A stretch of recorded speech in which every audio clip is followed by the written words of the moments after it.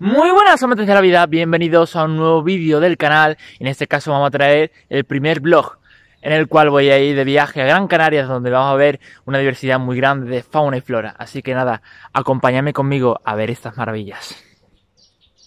Aquí estamos en el Gran Canaria y aquí empieza nuestro viaje.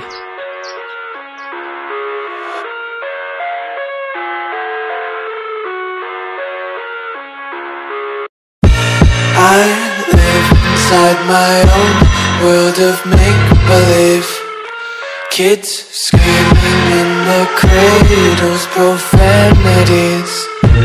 I see the world through eyes covered in ink and bleach. I love everything. Fire spreading all around my room. My world's so bright, it's hard to breathe But that's alright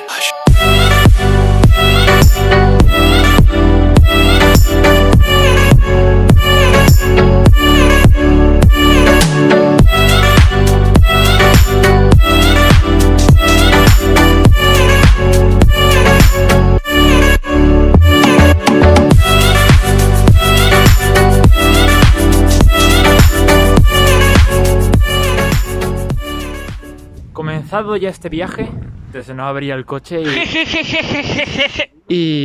y bueno, eso, vamos a intentar... provocar un suicidio. Os iré mostrando fotos de especies y mientras voy disfrutando de, de estos paisajes, iré mostrando los nombres, iré mostrando sobre todo algunos vídeos que haré sobre cada especie de planta y animal que iremos viendo por aquí. Y bueno, disfrutando sobre todo de estas pedazos vistas de la gran isla de Gran Canaria.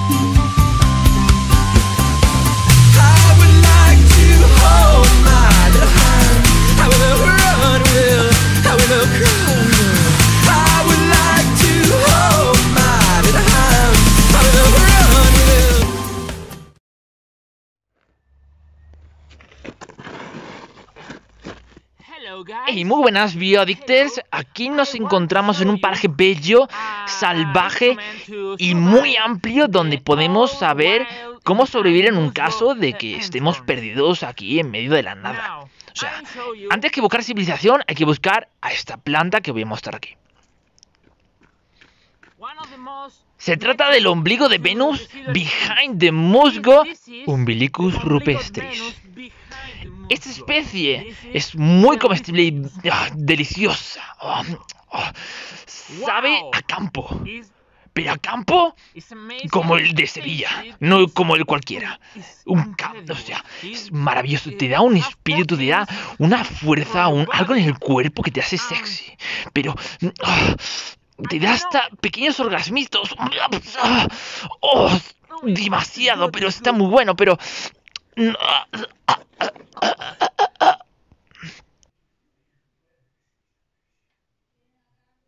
Pero ¿quieres empezar con...? Gente, acabo de ver un macho subadulto de galleta esteleni, bueno, y crías y demás, de todo. O sea, crías, un pedazo que lo tengo aquí fotografiado. Mi primera gallota estelini, tío. Es que por favor, mirad esto, gente. O sea, voy a ver si puedo darle al, al más. sea... Lo voy a pasar aquí en el vídeo porque es que... Aquí tenemos la foto de un macho juvenil de Gallote stilini y en este caso hablaremos de esta especie. Gallote stilini es a día de hoy, por causa de que ha habido especies que se han extinguido de este género, una de las especies de larcétidos más grandes del mundo y diríamos que la más grande de Europa, superando a Timon lepidus, un larcétido de la península ibérica. En este caso podemos ver el característico color naranja del cuello y luego es curioso como eh, los juveniles con más edad cogen un tono azulado y luego en adultos se vuelven completamente negros, pero sin embargo las crías son marrones con pintitas blancas. Son unas verdaderas bellezas y la verdad es un privilegio poder haber visto esta especie. Y sobre todo recalcar que los grandes larcétidos se han ido separando y diversificando a lo largo de 6 millones de años, formando linajes totalmente diferentes y totalmente espectaculares. Es partiendo de África, de Europa, del sur de Europa, de las Islas Canarias y simplemente una diversidad increíble. Gente, mirad lo que tenemos aquí. Es que tengo que comentarle. Ahí lo veis, ahí lo veis. Un macho de gallotti estelini. Ahí metido. Pudimos coger y encontrar un macho adulto de casi 83 centímetros. Y el caso es que una experiencia increíble. Y si os interesa, podéis ver un vídeo que hizo mi amigo Alonso de los Reptile sobre esta especie. Las Islas Canarias forman parte de un conjunto de islas llamada Macaronesia. Estas islas presentan ecosistemas únicos, ya que son la muestra de lo que fue Europa y África hace 20 millones de años. Tiempo después surgieron las glaciaciones y con ello destruyó mucha parte de estos ecosistemas prístinos que a día de hoy son reliquias en peligro de extinción. Sobre todo los bosques de laurisilva, donde predominan las plantas de la familia Lauracea y otros endemismos verdaderamente únicos. Estamos en un paisaje único, realmente único. Yo, yo estoy como un niño aquí, rodeado de toda esta cantidad de especies. Es un contraste impresionante a, los bosques mediterráneos, pero muy impresionante. O sea, esto, esto es un paraíso, esto es tropical real. Un, una densidad vegetal alucinante y me ha enamorado. Mira, mira esto, mira esto. partiendo de plantas que son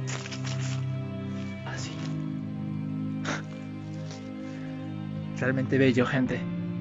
En estas selvas europeas resulta sumamente difícil diferenciar algunas de las especies arbóreas que nos encontramos aquí. Mi ojo no está preparado para diferenciar tanta cantidad de especies. Vagamente se puede incluso diferenciar Apolonias barbujana de Piconia excelsa y también se puede llegar incluso a diferenciar la uruza sórica. Lo que pasa es que, claro está, todas, casi todas, presentan una convergencia evolutiva con respecto al diseño corporal que presentan estas especies de plantas. Casi todas presentan una estructura un tanto similar que solo es diferenciable en el crecimiento y sobre todo en las flores. Y os prometo gente que haré todo posible con tal de mostraros vídeos acerca de las especies que en parte presentan cierta dificultad a la hora de diferenciarlas. Sobre todo haciendo honor a las especies y la biodiversidad que está presente en las Islas Canarias. Para destacar alguna especie fácil de diferenciar, podría hablaros de Viburnum rigidum. Se parece en gran medida a Viburnum tinus, una especie que puedo ver bastante en los bosques mediterráneos de la península ibérica, pero que sin embargo se diferencia bastante bien con respecto a la hoja, ya que es mucho más grande, tiene un tacto mucho más áspero y más rugoso, y aparte es una planta de una altura muchísimo mayor que Viburnum tinus. Encontramos también bosques termófilos y cardonales, donde se aumenta la temperatura y hay una mayor presencia de euforbias, tanto balsimífera como regis y otras especies. Luego en zonas de barrancos podemos encontrar taginastes como Echium decaisnei y otras especies del mismo género, y también algunas suculentas como especies del género Aeonium. Sobre todo si una zona bastante abundante de rocas y es una zona con mucha cobertura vegetal, podemos encontrar el lagarto gigante de Gran Canarias en cualquier lado.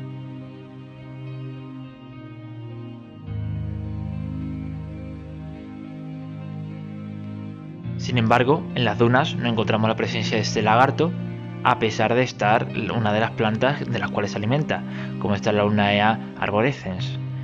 Sin embargo, eso, no encontramos, habiendo cobertura vegetal, no encontramos la presencia de estos lagartos sobre zonas dunares como en esta de Maspalomas, muy típica y muy transitada por turistas.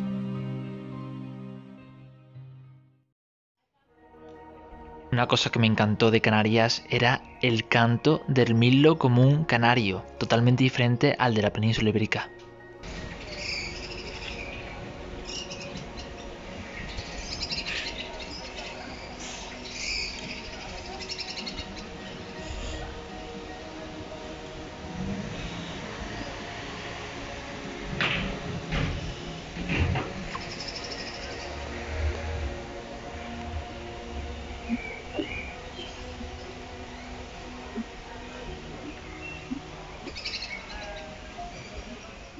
Aquí detrás tenemos a la Euphorbia canariensis.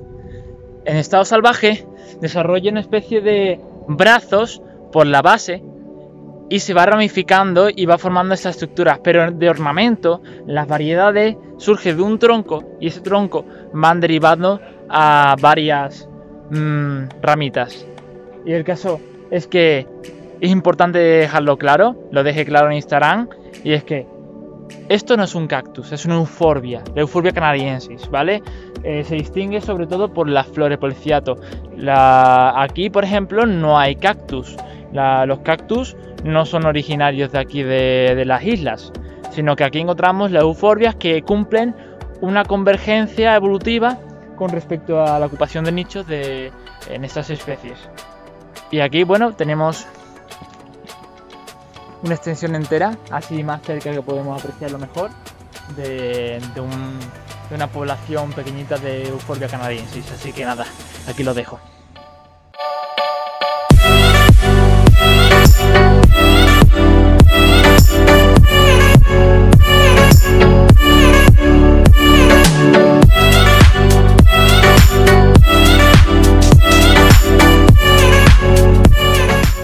Ahora en el Jardín Botánico de Gran Canarias y quiero dejar una cosa muy clara para el vídeo y es la diferencia entre la Clenia nerifolia y la Euphorbia regis, que aquí en Canarias hay varias especies de Euphorbia, pero vamos a explicarlo un poco.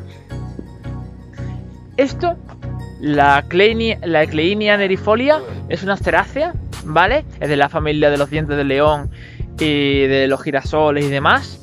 Cleinia nerifolia tiene las hojas muy parecidas a las euforbias de aquí de Gran Canarias porque es una hoja muy gruesa, suculenta, esclerófila parece, pero so- solo que es muy blanda, no es como la del género Quercus.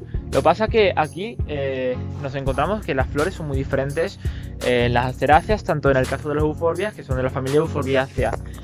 Se puede confundir porque tanto las euforbias como la Clenia nerifolia presentan una especie de cicatrices que dan un aspecto casi iguales en, aspecto morfológico. Solo que eh, las euforbias son, en el caso de las euforbias de Gran Canaria, son de, hojas más finas y las clenias se diferencian por sus hojas más grandes. La flor de la Clenia nerifolia no forma ciatos como la euforbia. O sea, es una flor compuesta. Y además, eh, las semillas presentan vilano. Es esta estructura que le permite, pues, mm, dispersarse con el viento. Luego aquí tenemos la Euphorbia regis, que es muy parecida a la balsimífera, solo que la balsimífera se encuentra más en costa y tiene el tronco más rojizo. Y la, la cosa es que el género, bueno, las familias de las euforbiáceas presentan una flor en forma de ciato. Y las, y las semillas eh, y los frutos tienen forma de tres gajos. Aquí vemos el fruto de Euphorbia regis, típico de las euforbiáceas. Y eh, si vemos aquí algún eh, ciato, por ejemplo, aquí, aquí se ven los ciatos. Los ciatos son característicos por tener una zona que se llama el nectario, donde eh, segrega una especie de, secreta una especie de eh, contenido de líquido azucarado, por el cual atraen a insectos y las polinizan. Esto es principal. Luego al lado, detrás nuestra, tenemos una planta muy parecida, pero que es de un género, una familia totalmente diferente, de la poragináceas. Y eh, el tacto es muy diferente, es rugoso, típico, tiene una especie de espinitas en las... eh, unos tricomas en forma de espinas en las hojas. Y esta es una Echion de Caisnei, ¿vale? Sin florecer todavía. Aquí podéis verla. Es otra planta diferente a las dos que he mencionado antes. Bueno, por razones de que tengo 1 por 10 elevado a 6 vídeos, eh, voy a cortar aquí. Espero que os haya gustado este resumen del viaje que he tenido. Haré más vídeos hablando sobre cada especie que he visto y espero que os haya gustado y aquí finaliza mi viaje a Gran Canaria.